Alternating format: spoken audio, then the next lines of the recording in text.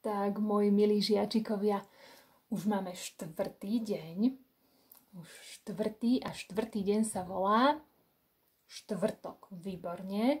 Včera bola streda a zajtra bude piatok. Výborne. A tuto mám ten náš kalendár. A v celom kalendári je koľko mesiacov? Hm, koľko? 12. Výborne. Je tam 12 mesiacov. A teraz máme koľkatý mesiac? Teraz máme druhý mesiac. A tento druhý mesiac sa volá február. Prvý bol január, druhý je február.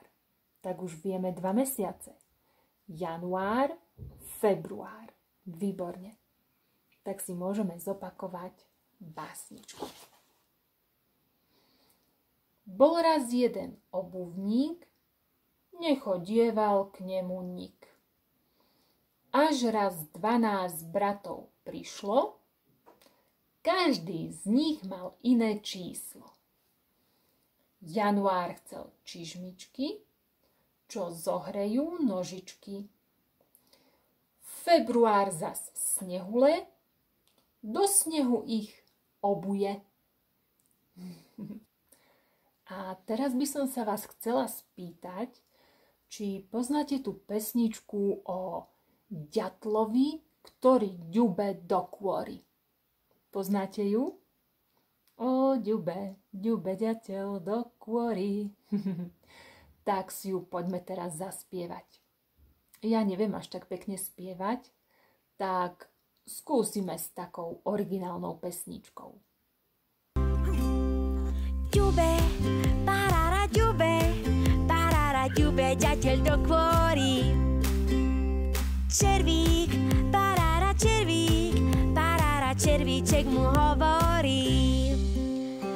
Neťup ďateľ do kvôry, vyďubeš tam od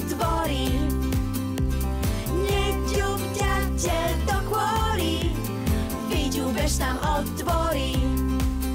O, neďub, o, neďub, neďub daťo do kôry. O, neďub, o, neďub, vyďubeš tam od dvory. Tak sme si super aj zaspievali. Som rada, že máme troška aj hudobnú. A Teraz by sme sa mohli ísť pozrieť do Hubsovho šlabikára, čo tam budeme robiť. Tak nájdeme si stranu 39, moji milí kamaráti, a už ja tu mám pre vás iba takúto túto poslednú úlohu. Takže zoberte si cerusku, takto pekne cerusku, správne si ju chyťte, aby sa vám dobre písalo.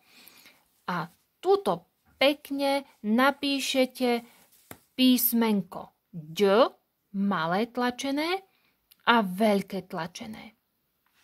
A potom porozmýšľate, že aké slova ste spievali v tej pesničke e, Ďube, ďateľ do a skúsite napísať slova, v ktorých je d. Alebo si môžete pomôcť aj nejakými slovičkami tuto z toho môjho šlabikára.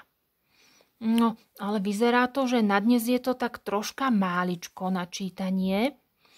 Tak sme sa dohodli s pani učiteľkou, že vám pošle pracovný list, v ktorom budú nejaké e, slovička, písmenka a vetičky, ktoré budete čítať. Dobre? Tak ahojte. Pozrite si ten pracovný list.